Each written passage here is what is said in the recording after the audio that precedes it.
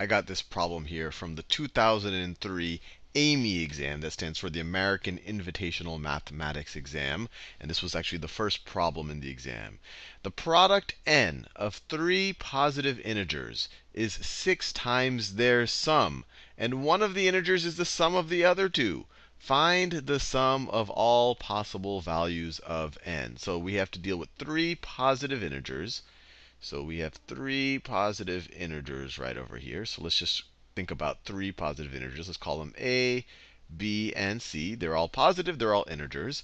The product n of these three these three positive integers. So a times b times c is equal to n is 6 times their sum. This is equal to 6 times the sum. Let me do this in another color. So this is their product.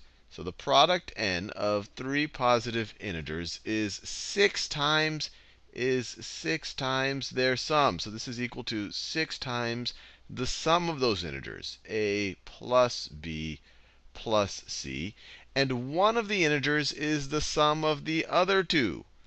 One, one of the integers is the sum of the other two.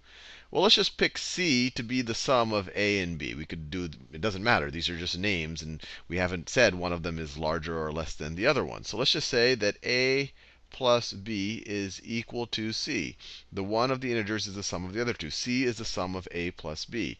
Find the sum of all possible values of n. So let's just try to do a little bit of manipulation of the information we have here, and maybe we can get some relationship or some constraints on our numbers, and then we can kind of go through all of the possibilities.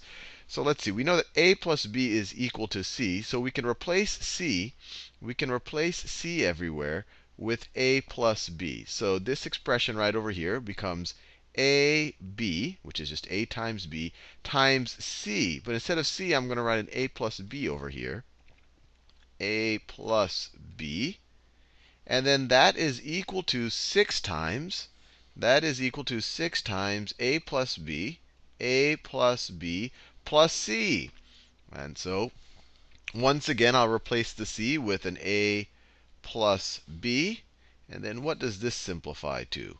So on the right hand side, we have 6 times a plus b plus a plus b. This is the same thing as 6 times 2a plus 2b. 2a plus 2b, just added the a's and the b's. And we can factor out a 2. This is the same thing as if you take out a 2, 6 times 2 is 12 times a plus b. The left-hand side right over here is still is still a times b, or ab times a plus b. So ab times a plus b has got to be equal to 12 times a plus b.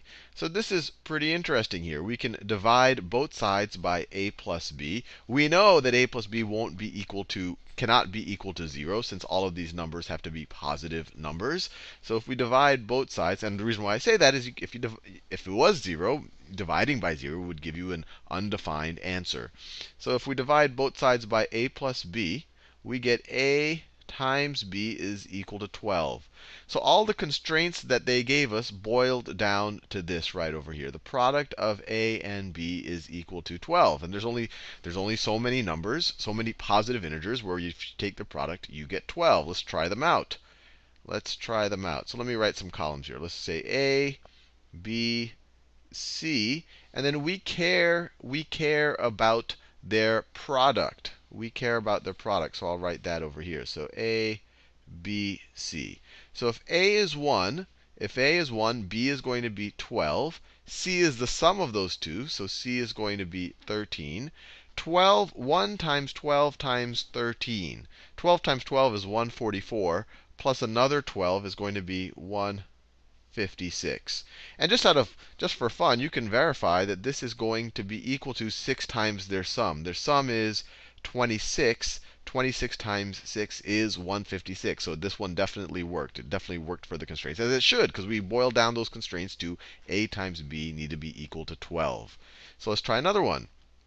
2 times 6, their sum is 8. And then if I were to take the product of all of these, you get 2 times 6 is 12, times 8 is 96. 96. Then we could try 3 and 4. 3 plus 4 is 7. 3 times 4 is 3 times 4 is 12 times 7. Actually, I should have known. The a times b is always 12, so we just have to multiply 12 times this last column. 12 times 7 is 84.